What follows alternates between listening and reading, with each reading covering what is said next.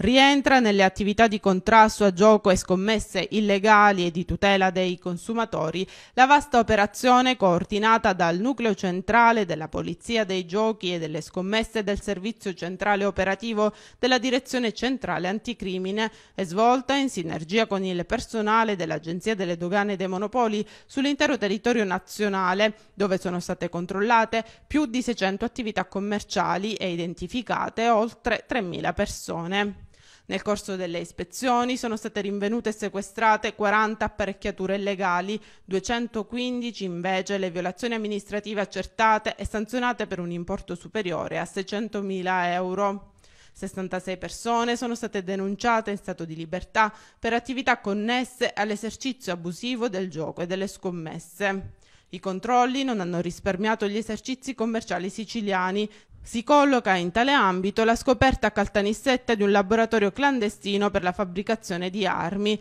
Al suo interno la squadra mobile e la sezione investigativa del servizio centrale operativo hanno rinvenuto tutta l'attrezzatura necessaria per la costruzione di cartucce per armi corte, una pistola artigianale e munizioni di diverso calibro. Arrestato il titolare dell'immobile. La Polizia di Stato ha inoltre controllato 18 sale giochi e centri scommesse di Gela e Niscemi ed elevato 4 sanzioni amministrative, di cui 2 per organizzazione di scommesse in assenza di concessione, autorizzazione o licenza di polizia, una per pubblicità di scommesse abusive e la quarta per aver raccolto scommesse su eventi non inseriti nel palinsesto.